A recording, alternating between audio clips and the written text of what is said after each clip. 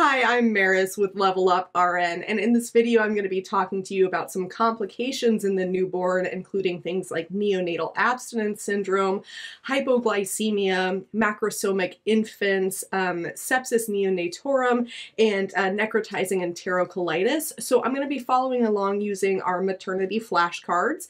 These are available on our website, leveluprn.com, if you want to grab a set for yourself. And if you already have a set, I would invite you to follow along with me. So let's go ahead and get started. So first up, we are talking about neonatal abstinence syndrome. Um, this is going to be the, the experience of the newborn who was exposed to drugs in utero. So um, this is going to be specifically related to opioids. Um, however, it can be from other drugs as well. So just like an adult, um, if you are exposed to drugs over and over daily and then suddenly stop being exposed to them, uh, you will go through withdrawal. Uh, and so will the newborn. However, in this instance, we call it neonatal abstinence syndrome. Um, and remember that this is multi-system as well. So big signs and symptoms here are going to be a high-pitched or a shrill cry. That's, that's going to be a red flag that something is not right with this infant. And specifically, this is going to be related to neonatal abstinence syndrome tremors, shaking, or convulsions, which are like bigger shaking, uh, fever, tachypnea, diaphoresis, irritability, poor feeding, diarrhea, constant sucking, that's going to be like trying to like a soothing mechanism, um, or increased muscle tone all of these are signs and symptoms. Remember that we want newborns to have strong muscle tone, but if they have increased, like they're really rigid, um, that could be a sign as well. So treatment um, is going to be, a lot of it is going to be supportive care, giving lots of skin-to-skin -skin contact, reducing stimuli in the environment, that sort of thing. However, we can also treat the actual cause of the issue itself by replacing um, whatever substance it is that they were withdrawing from in small amounts of medically appropriate forms of that substance. So for instance, morphine sulfate can be given, um, buprenorphine, methadone. Uh, we can also give anticonvulsants if they are having seizures or convulsions, right?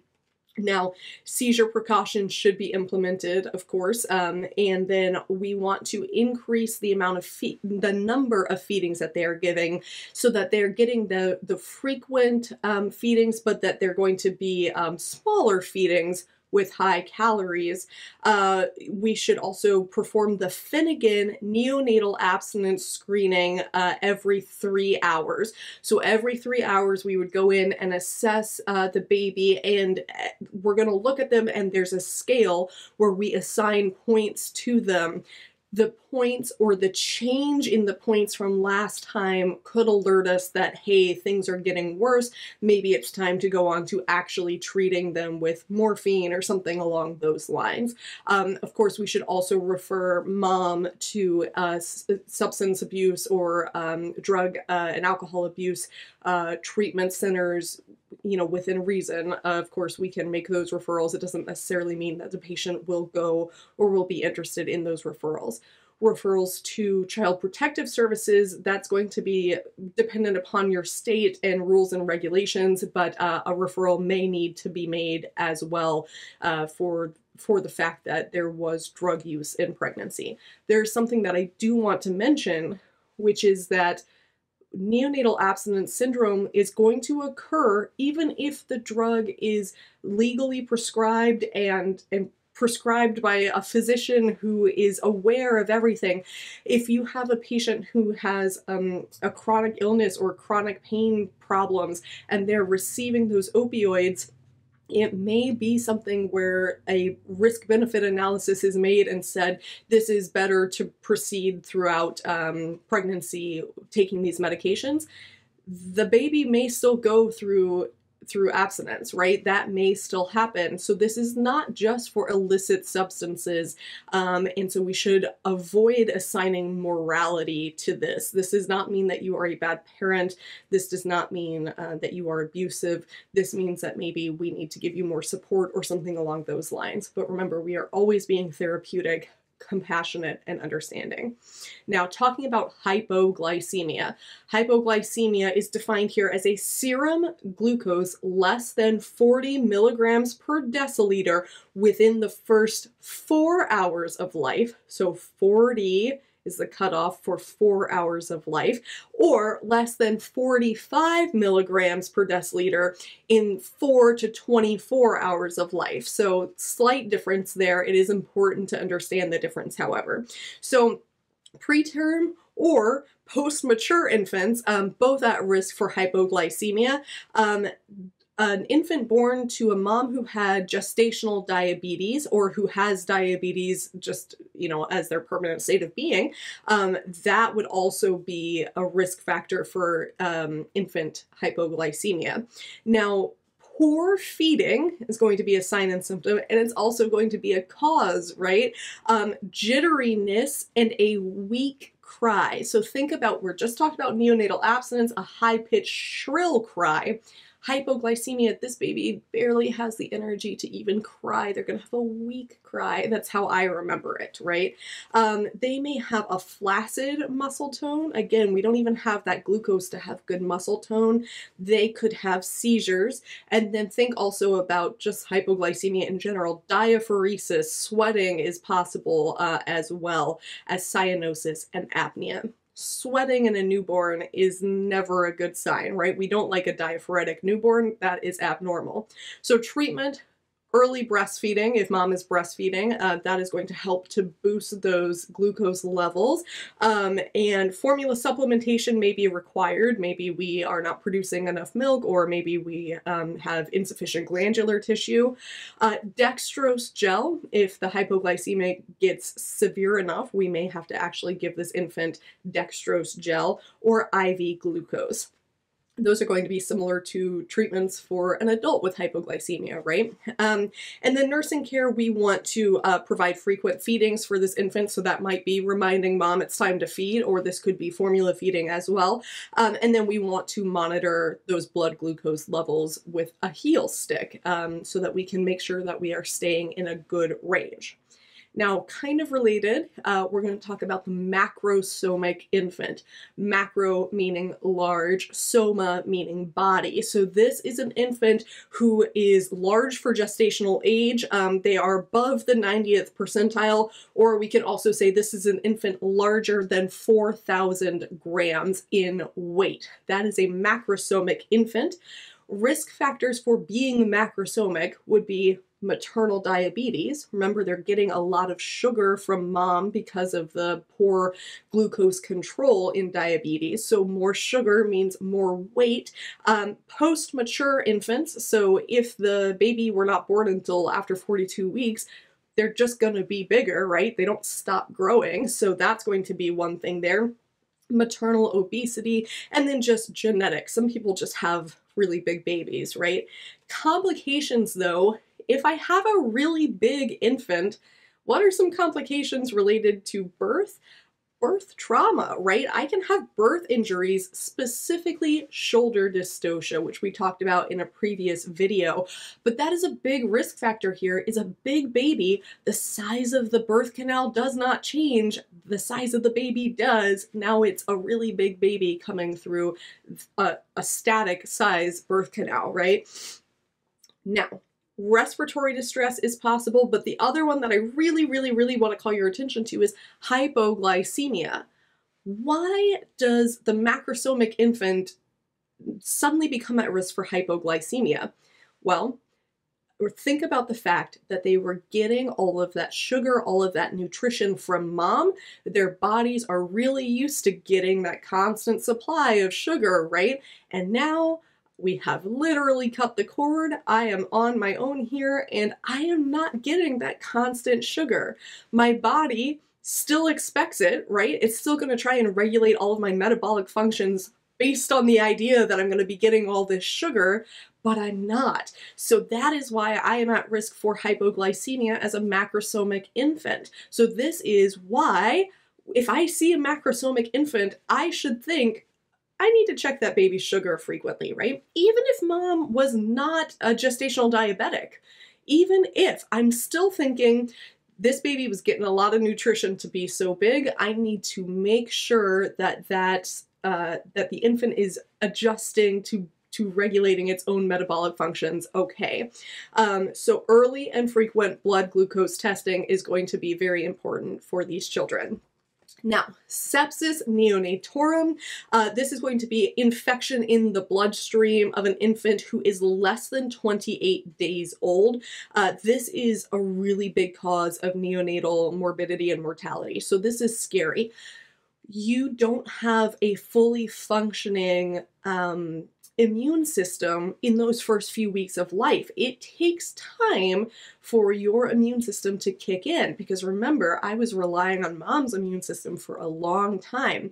So, in those first four weeks of life, I'm incredibly at risk for infection, and I need to be, as a parent, I need to be educated that a fever in a child of that age is a significant finding that requires further evaluation, right? Um, so lots of risk factors here, prematurity, low birth weight, chorioamnionitis, that is an infection of the chorion and the amnion of the mom and baby.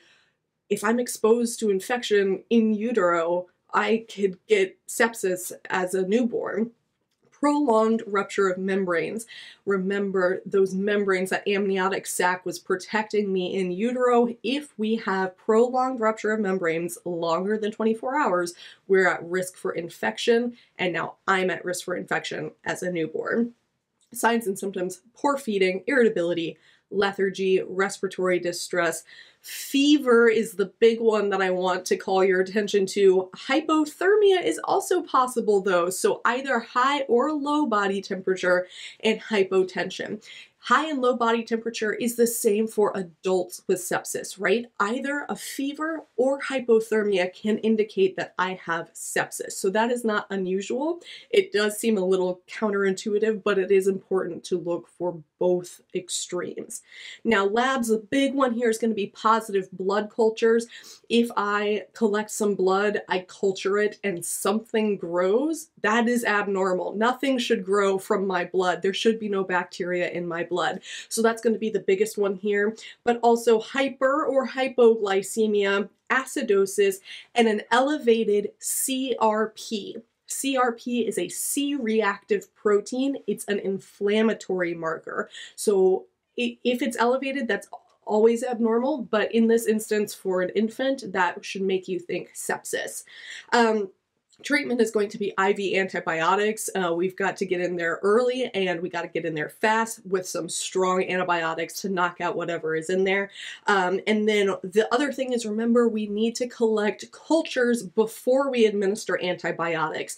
Um, it is important that we do that because the second we administer antibiotics, in the bloodstream, they're circulating everywhere. So even if I give the antibiotics and then culture the blood immediately, 15 seconds later, some of that antibiotic is in there and it could inhibit growth and give us false negative blood cultures. So be sure to get cultures before administering antibiotics all the time in any sort of patient.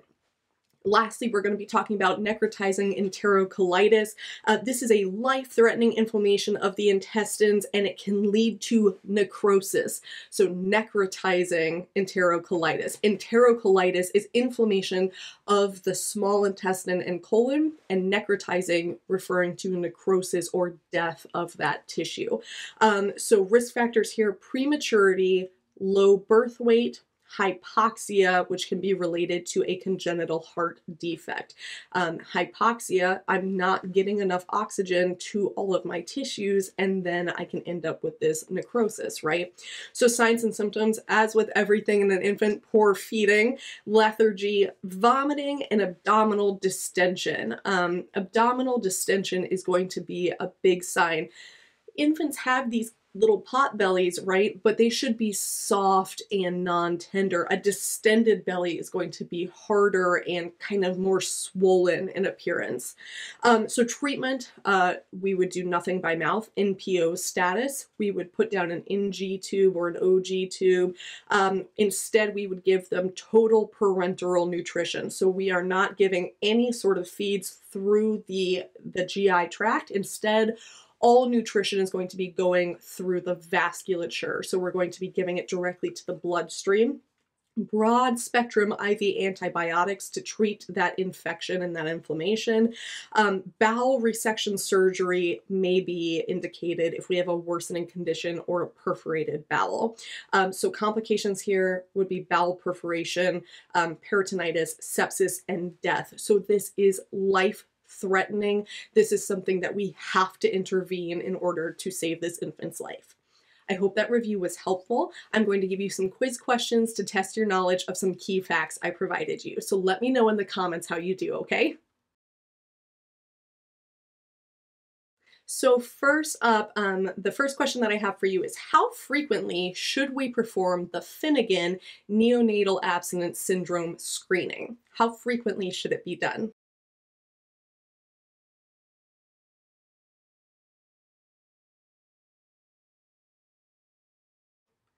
Secondly, I want to know what type of cry should the nurse expect to hear from a newborn with hypoglycemia? So what sort of cry would I hear in a hypoglycemic newborn?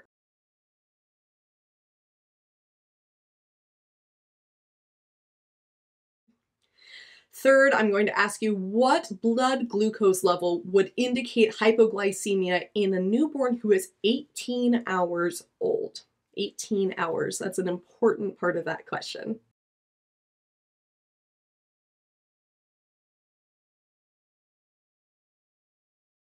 And lastly, name two complications. I gave you a bunch of complications, but name two complications that a macrosomic infant may experience.